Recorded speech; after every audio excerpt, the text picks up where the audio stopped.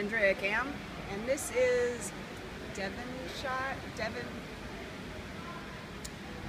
So I still don't know where I am. Uh, Devonair, Devon.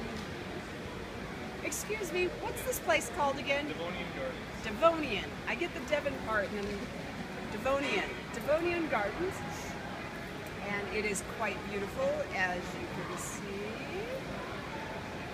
Quite the Andrea type place.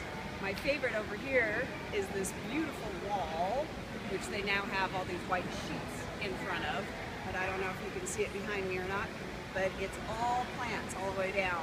Super cool. If I ever have another place to live, I'm putting one of those in my house. Anyhow, just thought I'd say hi again and let you see some other parts of Calgary, Canada. Thank you.